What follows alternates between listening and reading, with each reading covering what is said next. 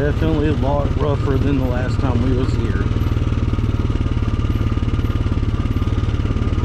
Um, we was told that they got a huge rainstorm and apparently washed up, washed out a lot of the trails.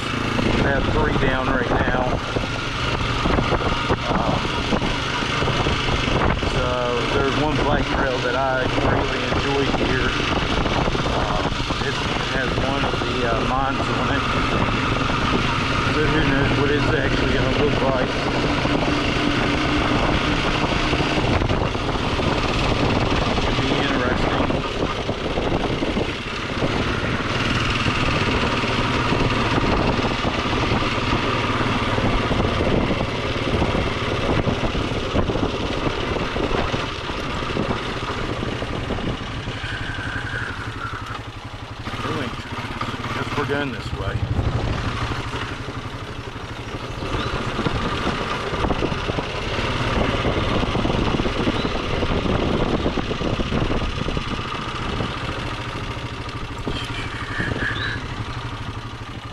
No